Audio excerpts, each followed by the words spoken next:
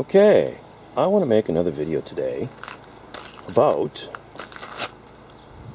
an outdoor lamp, low pressure sodium.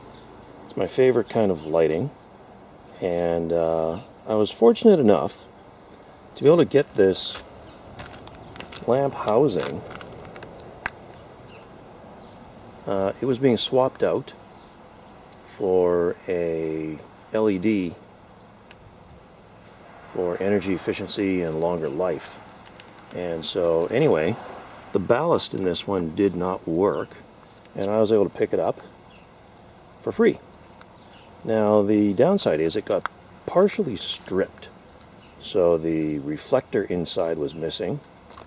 Uh, the two screws on the top were missing that hold the, uh, the housing together and uh, the electric eye, the photocell was missing as well. So this fixture had a bad ballast in it, which I've taken out. The capacitor is good, but the ballast is bad.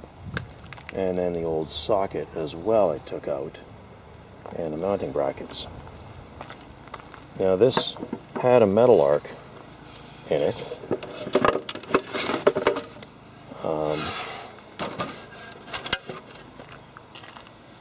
you can see here, had a 175 watt bulb in there, an M57.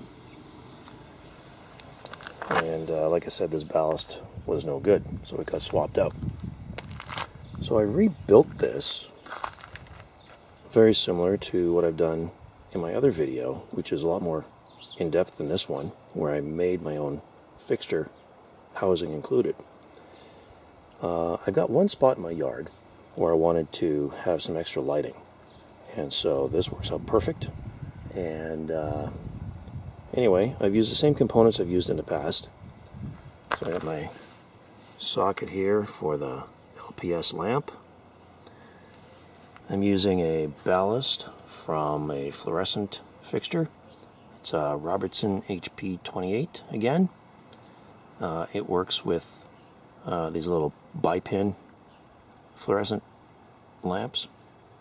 So yeah, anyway, the spec is is very close to what you need to drive the 18 watt low pressure sodium.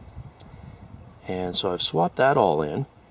Uh, this is where the old ballast was. There's a well in here where it fit in, but this one does not fit in there. So I left it on the mounting plate that it was attached to in its old fixture and put two holes in there to screw it into here. So that works good. Uh, the housing has its here we go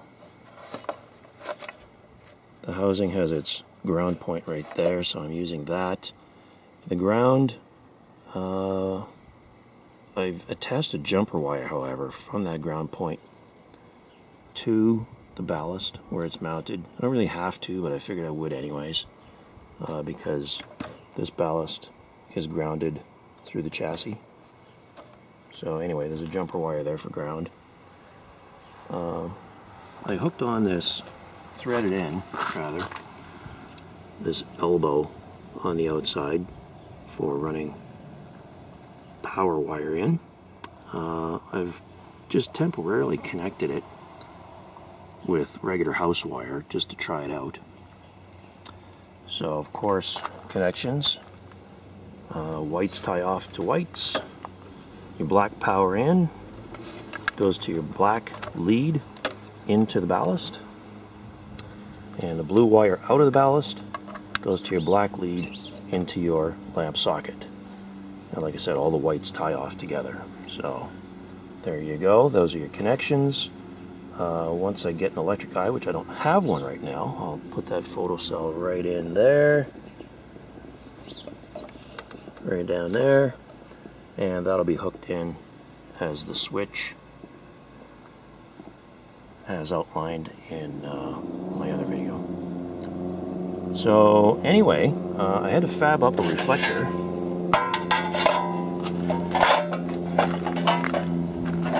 like I said, the one that was in here got stripped. So I just took a piece of metal, gave it a nice little little curve. Some coat hanger wire here and another little piece of metal and riveted that on so I've got a, a support for the lamp and drilled a couple of holes to screw it in and it works really good that way. Uh, I've tried it out already. It supports the lamp well and I think this is going to be a success. So just uh, I'm going to screw that on right now. Just hold on. Okay, so I've screwed the, uh, the reflector in, put the lamp in, and uh, got the support on there. It's, it's, solid now, so that's really good. Uh, I'm just going to plug it in here and see if it'll arc. Okay, it is beginning to arc. Yeah, think you can see that. Yeah, there it goes. It's starting to arc. Beautiful. Well, it looks like the ballast and everything is going to work. So that's great. Now I'll just have to uh, pick up an electric eye, wire that into there, and mount it. So anyway, I just want to give you that brief little little video on what I picked up here. Kind of in addition to my other video about building a fixture. Like I said, it was a whole lot more detailed than this. So anyway, hope you enjoyed this. It's it's flashing there. There we go, it's starting to warm up. It'll work. Good. Um, yeah, after I get this finished, uh, mounted, I'll, I'll add that in here too. Okay, well here it is, all warmed up and lit up. Seems to be working pretty good. So I think that'll be just fine. And uh, like I said, I got to go to the store and pick up a photocell and put that in there and then I'll mount it and that'll be done. So another successful lamp project for low pressure sodium 18 watt. Thanks for watching. See you again soon. Bye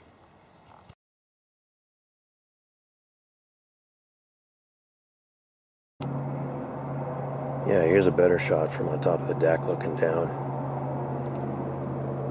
Got the lamp mounted right there. And it lights up all over here really really nice